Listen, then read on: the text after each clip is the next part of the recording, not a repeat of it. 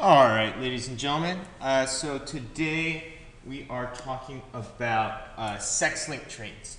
Um, go ahead, write down your target. This, uh, if you are 2013, uh, you're going to be doing this on page 139. Uh, you can do some of your practice Punnett squares on 138 if you like. Uh, so today you're going to learn about how to predict the inheritance patterns of sex-linked genes go ahead and set your Cornell notes up and you can push pause if you need time to do that. And if not, let's go ahead and move forward. All right, so what number do you see? Give you a second. You're probably thinking, man, this is pretty obvious. Uh, but there's a lot of people who can't see this if they are red, green color blind. This is a uh, color palette to test that. You probably see number 12 right here. However, uh, 8 to 12% of males of European descent can't see the number 12 there, and only 1% of females can't of the European descent. So, why the difference? I mean, it's almost 10 times different, 10 times more males can't see it. Why is there such a difference? The reason is that that color blindness trait is found and it's a sex-linked trait. Um, sex-linked traits are going to be genes that are carried on the sex chromosomes. You see here we have an X chromosome and here a Y chromosome. And if you take a look at it, that Y chromosome is so much smaller. It's missing so much information. So really, it just doesn't have that information that talks about um, the color blindness. So, probably know this, but you see it again, I'm sure. Uh, we have the genotype for females is XX, and the genotype for males is XY. You guys have worked with karyotypes before, we've talked about this before, but we have XY for males, so this right over here, this is a male individual.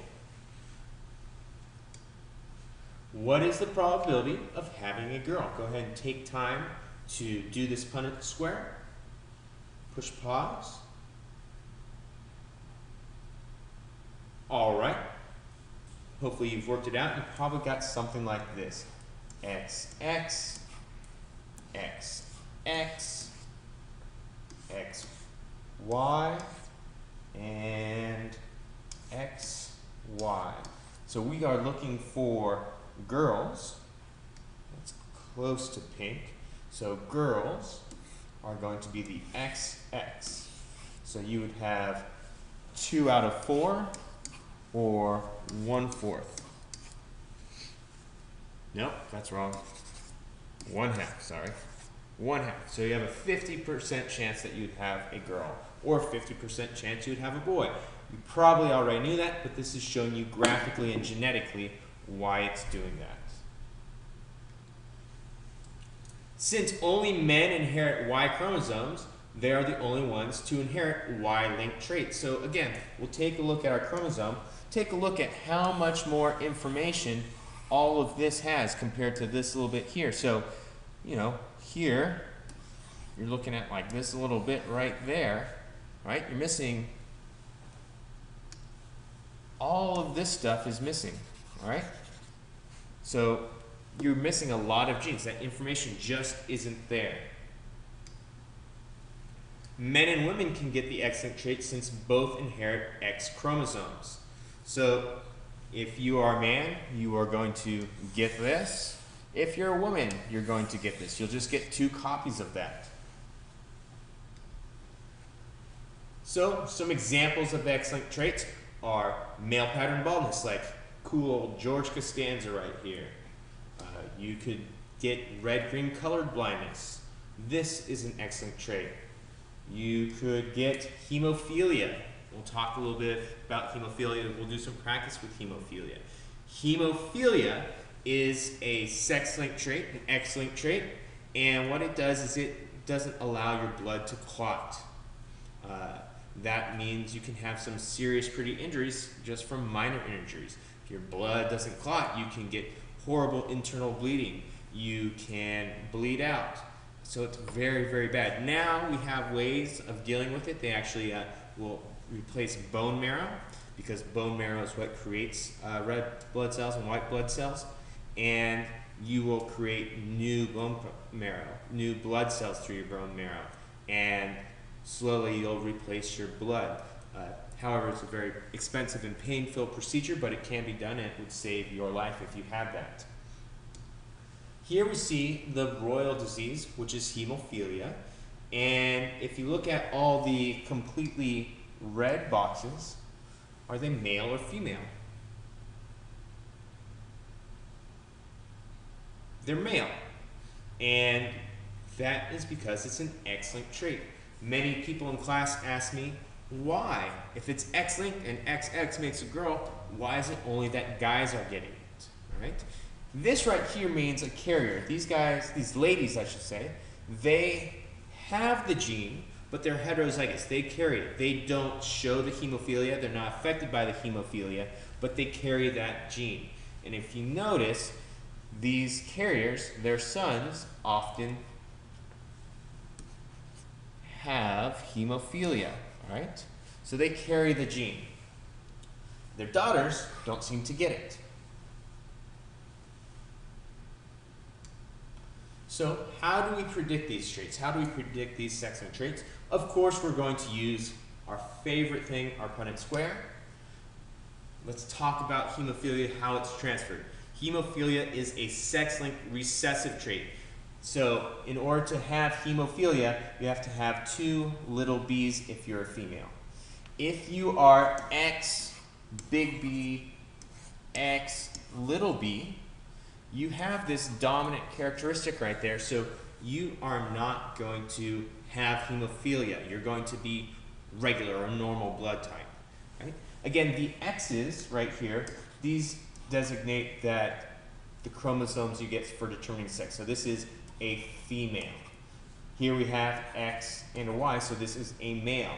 Notice though, this male is going to be hemophilic right here because he has the little b and there's no big B to back it up, so he's going to show it. So here we are going to do a cross to kind of show you what would happen. Uh, we have an unaffected male, and he's going to mate with a carrier female. So she's a carrier. She doesn't show the hemophilia. She doesn't have the hemophilic phenotype because she has a big B. She's normal but she does carry the hemophilic allele. So take a look at this. Do you think she's going to have any hemophilic kids? So we'll do this. X, X, big B, big B. Is this hemophilic? No, because it has big B's. X, Y, big B. Is this hemophilic? No, he is not hemophilic because he has a big B. How about this one? X, big B, X, little b. She hemophilic? No, again, she has a big B. It's dominant trait. X, little b, Y. Is he hemophilic? Is he hemophilic? I can't say hemophilic. Is he hemophilic? No. Uh, only has one B. So you think, oh, they only have one B? Then no. But it is just the big B by itself. There's nothing here to kind of protect it. So just one little B. It's the only B that it has. So yes, he is going to be hemophilic. Hemophilic. Right? because it has this little b right here and nothing else. These guys are all normal.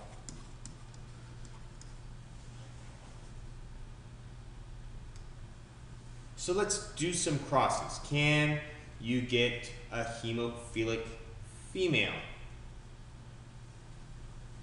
So here we go. Let's get black. Can I get a hemophilic female? Well, let's do this one. If we do x, big B, y, and X, big B, X, little b. Go ahead and take time to fill that out. See if we can get a hemophilic female this way. Push pause. Try it out yourself. Just don't wait for me to do it.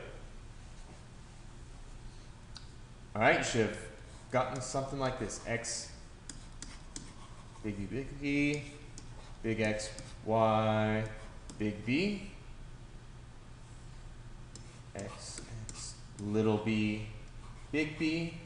Sorry, that's, you know, normally capitalized goes first, but whatever. And X, little b, Y. So here, we do not have, we have, or we have a, a male, but we don't have any females that are hemophilic. Because again, they're protected because they can have, they need two alleles. Let's do it a little different way. Can we get a hemophilic female if we do this?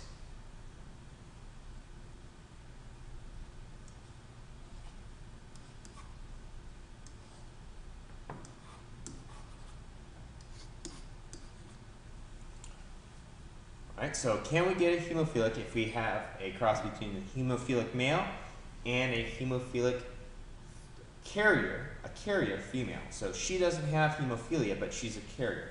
Can we get a hemophilic female this way?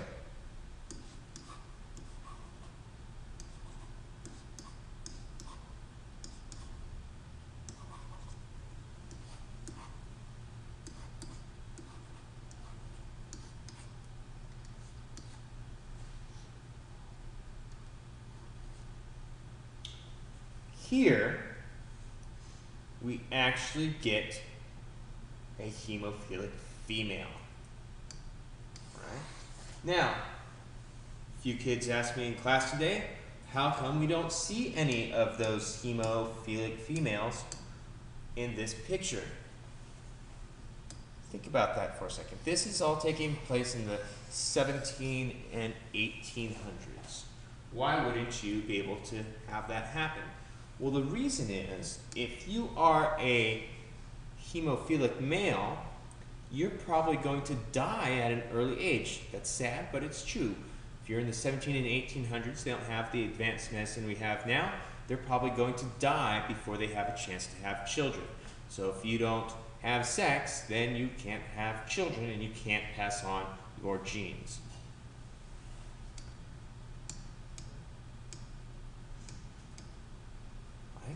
So here's a question. Uh, I said baldness works just like uh, color blindness or hemophilia. If a boy's dad has a male pattern baldness, is it likely he will too? So here we have Homer Simpson, clearly bald. Is he going to is he going to pass on his genes to Bart? Does Bart have to worry about being bald because his dad is bald? Think about that for a second.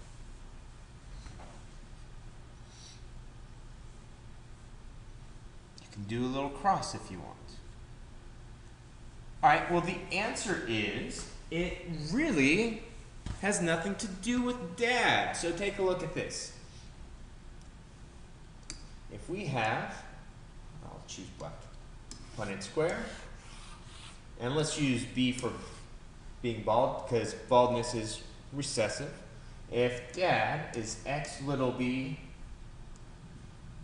y, and Marge right here is x big B, x big B. We're just worried about y right here because we're talking about boys. x, y, x, y, big B, big B. Bart has no chance of being bald. Even though his dad is bald, Bart has no chance of being bald if he, because uh, if his mom is homozygous dominant. So again, it has nothing to do with dad. Now, Bart could be bald if mom is heterozygous. So if Marge is heterozygous, he could be bald. It'd be a 50% chance. But again, it has nothing at all to do with Homer's genes because Homer is just passing on the Y. So, if your dad is colorblind, is it likely you will be too? Well, the answer is if you're worried about that, you should look at your mother's brother. If your mom doesn't have any brothers, well then you really don't know. If you if your mom's brother is bald, then that just means you know the gene is in there and there's a risk of you getting, but you still don't know if she has it. And if your mom has no brothers, well, I don't know what to tell you. You could look at your grandma's brothers, but still, that's even less uh, helpful. Right. So go ahead, take your time to uh, write some summaries and some questions. I hope that was helpful, and I will see you soon. As soon as I figure out how to turn this off, I think it was Control F9, Alt F9. Where is it? Mm, Alt F10. Control F10. Control F8.